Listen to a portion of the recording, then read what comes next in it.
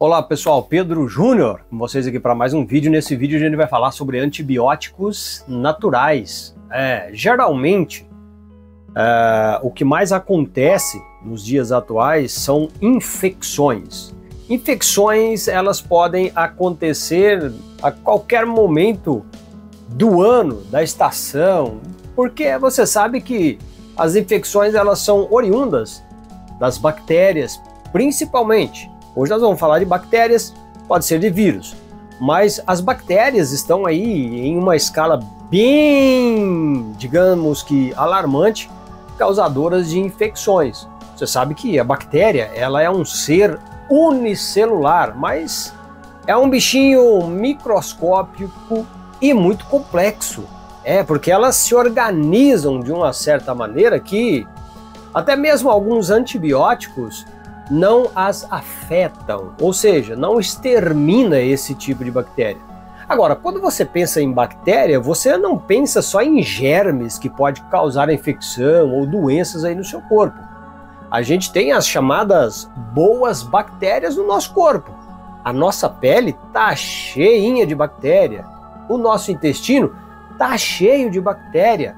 Os nossos genitais tá cheio de bactéria todos os locais do nosso corpo a gente tem essas bactérias amigas e é muito interessante esse tipo de coisa, né? Que é uma simbiose, é uma, uma, uma cooperação mútua, digamos assim. Ele sabe que as bactérias do intestino são muito importantes, principalmente para o nosso cérebro, nosso sistema nervoso. Mas a gente tem várias bactérias que causam problemas. Por exemplo, a bactéria que está no seu estômago, que é a Helicobacter pylori, ela pode causar gastrite em você, pode causar úlcera em você. A Escherichia coli pode causar problemas de intoxicação por alimentos. É, a gente tem algumas outras bactérias, por exemplo, que pode causar meningite, gonorreia, pneumonia, os streptococos, por exemplo. Então essas bactérias, elas são, digamos que as gram-negativas, é aquela bactéria que acaba causando uma infecção em você. E dependendo do ambiente que uma bactéria boa estiver no seu corpo, se ela migrar para outro ambiente, ela já passa a ser nociva. Ela vai te causar males, porque aquele novo ambiente onde ela está, é, pode ser um órgão ou qualquer sistema do seu corpo, não é apropriado para ela. Caso, por exemplo, de uma bactéria do seu intestino, se ela conseguir migrar para o pulmão, ela vai causar pneumonia em você. Então, essas são as particularidades das bactérias.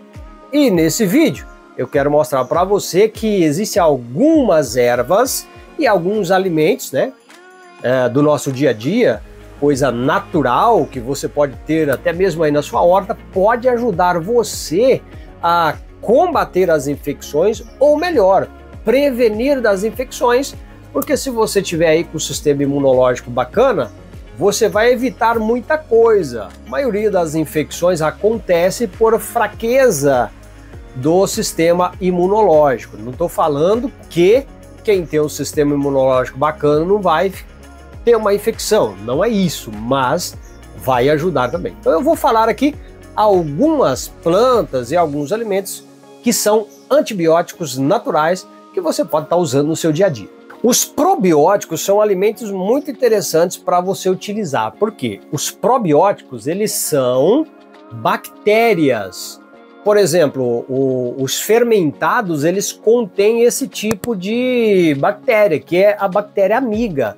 E o interessante é que se você tem, é, digamos que a população de bactérias amigas no seu corpo em uma quantidade adequada, essas próprias bactérias, elas funcionam como se fosse uma retaguarda impedindo o aumento exagerado das gram-negativas, daquelas bactérias que causam infecções. Então, até mesmo as bactérias boas ajudam a não deixar que aquelas bactérias ruins elas é, se multipliquem demais. É bem que aquela coisa mesmo de polícia e bandido. Se você tiver mais polícia do que bandido, elas vão ficar aí no controle, tá certo? Todos esses alimentos fermentados são interessantes para ajudar. São os probióticos que eu acabei de falar para você. Além disso, o aloe vera também é uma planta muito interessante para controle de infecções e para prevenção também, é a nossa famosa babosa. O turmeric também é um condimento muito bacana, que é o açafrão da terra.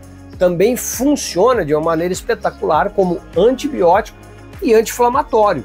O vinagre de maçã, ele também é muito interessante, principalmente para o seu estômago e para as bactérias que estão ali no estômago. Helicobacter pylori, que é uma bactéria aí do seu estômago, não, você tem ela no seu estômago. Só que o, que o que não pode acontecer é que a população dessa Helicobacter pylori aumente demais. E o vinagre de maçã é muito interessante, principalmente para as pessoas depois dos 40, 50 anos. Quando o ácido do estômago ele começa a decair, você tem pouca produção de ácido clorídrico. O gengibre, o alho são ótimos alimentos, condimentos também para você usar no caso de proteção contra as bactérias e até mesmo para o tratamento de infecções por bactérias. Já é conhecido há muitos milhares de anos que o alho ele é um antibiótico natural. O limão ele também é conhecido como um antibiótico natural, até por causa dos compostos fitoquímicos que há no limão e também por causa do seu pH funcionando bem parecido, por exemplo, com o vinagre de maçã principalmente controlando a questão do estômago. Além desses alimentos e dessas ervas que eu acabei de falar para você, no seu dia a dia você pode usar vitamina C.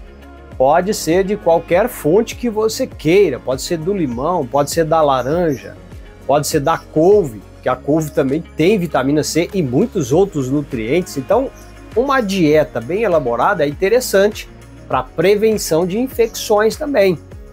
O que você deveria cortar para prevenir infecções? Usar o mínimo possível, por exemplo, de açúcares refinados, alimentos com farinhas refinadas, cortar o uso, por exemplo, do álcool e de alguns outros alimentos que a gente usa no dia a dia, que a gente sabe que é propício, ou seja, ele abre margens, abre portas para você ter essa recorrência de infecções por bactérias, tá? Então eu espero que tenha ajudado você com esse vídeo, dizendo para você aqui os antibióticos naturais. É claro que existem outros, pessoal. Eu falei alguns deles, mas se você der uma olhadinha mais a fundo, principalmente em estudos científicos, você vai achar muitos antibióticos naturais que podem te ajudar. Se você gostou do vídeo, se inscreva no canal, dê um joinha, compartilha e até o nosso próximo.